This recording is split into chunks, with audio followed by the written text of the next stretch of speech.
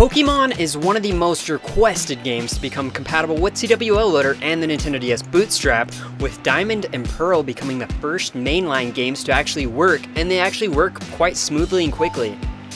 The game size is roughly 67 megabytes, which the Bootstrap can work with, opposed to Pokemon Black and White, which have much larger file sizes that are not compatible at this time.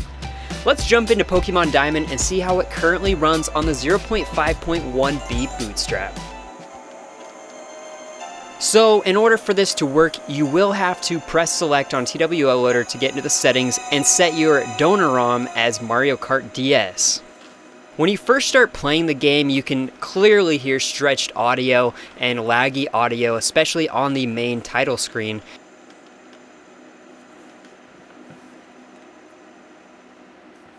every single time you load up the main title screen. It does take a few seconds longer, but once you get into the actual game, things tend to speed up a bit. There's no audio crackling whatsoever that can be heard, which is really good.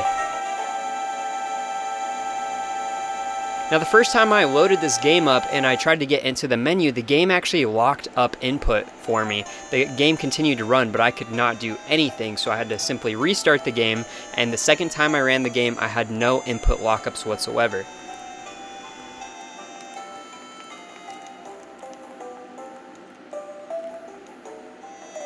The game initially lags audio and just lags in general when displaying a new graphic or new sound effects as it caches them, not cache. You're welcome.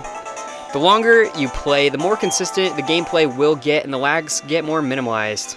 You'll notice that when you first get into your first battle and then when you start to get into future battles. Saving was very quick. After 15 minutes of playing game, it actually ran super smooth, even going from one area to another. It just seems like the title screen seems to have the most lag.